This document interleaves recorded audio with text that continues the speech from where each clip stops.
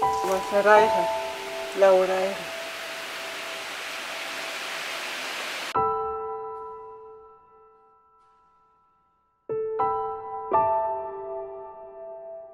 Ik ben Mieke Veen en ik ben 55 jaar.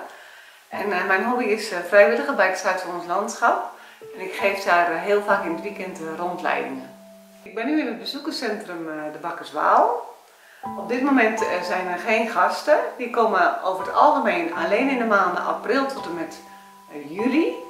En heel soms gaan we nog een stukje door in augustus. Maar eigenlijk mogen we nu op dit moment geen rondleidingen meer geven. Omdat de eenden uit Scandinavië uh, gekomen zijn om hier de winter door te brengen. Ik hoop dat de eendenkooi nog heel lang bestaat. Uh, ja, dat Zuid-Hollands landschap daar nog steeds in blijven investeren.